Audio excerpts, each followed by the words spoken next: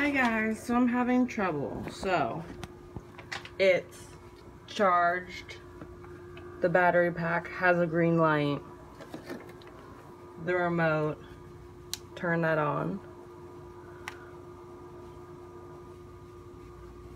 But then it's not saying that the board is responding. It's on. So I try to turn the board on. Just turn it over.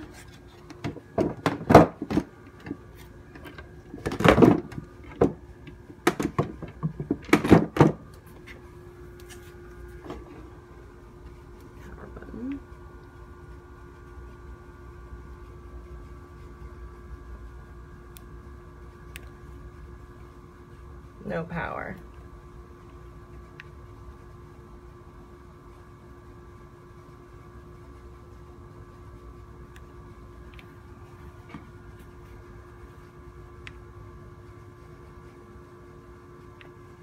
So this guy won't come on.